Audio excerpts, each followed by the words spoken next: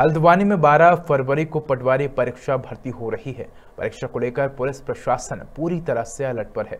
SSP Pankaj Bhatt ने बताया कि पूरे ज़िले में छियासठ परीक्षा केंद्र हैं, जिन पर पर्याप्त पुलिस फोर्स तैनात रहेगी। साथ ही सीसीटीवी कैमरे और वीडियो कैमरों से भी भर्ती परीक्षा की मॉनिटरिंग की जाएगी। इसके अलावा परीक्षा देने वाले परीक्षार्थियों को पर्याप्त चेकिंग भी की जाएगी।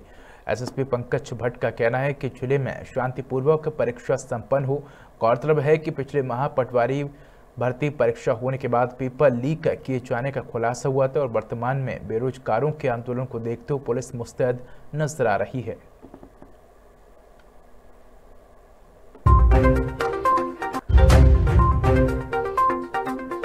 हमारे नैनीताल जनपद में कुल छियासठ परीक्षा केंद्र हैं, जहाँ पर पुलिस बल तैनात किया गया है। जिनको सेक्टर और जोन में डिवाइड किया गया है। जोन के प्रभारी राजपत्रित अधिकारी हैं और सेक्टर के प्रभारी थानाध्यक्ष लेवल के अधिकारी हैं।